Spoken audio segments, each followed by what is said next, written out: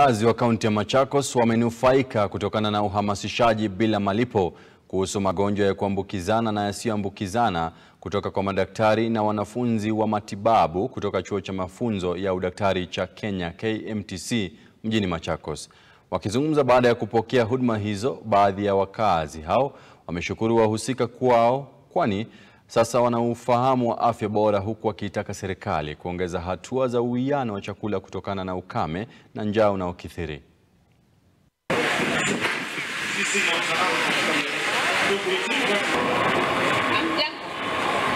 kuwapatia mawaidha kuhusu afya yao. Tunawapima e, tunawapima blood pressure,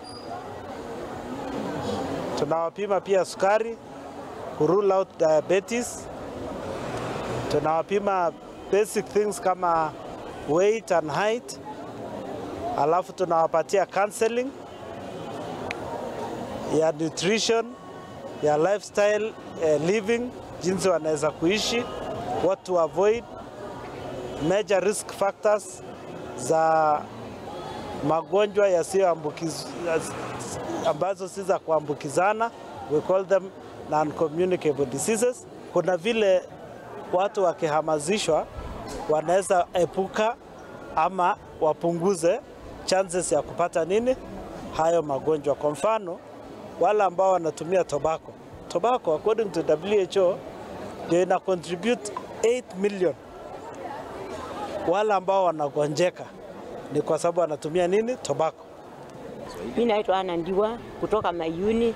Nimeshukuru sana kuja hapa kwa daktari, nimepimwa, nimetibiwa, nimeona nime, nimeona msaada wa, wa kupimwa juu nimeele, nimeelezwa kila kitu chenye naweza kufanya, naweza kula nikajikinga mwili wangu, kila kitu kakuwa sawa. Sasa nimeonekana niko fresh, lakini hata mafunzo ya kuhusiana na mwili wangu, kila naweza kula, mwili wangu usizofike.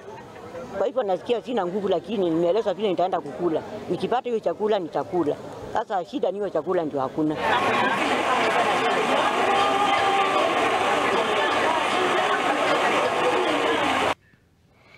Tukiwachana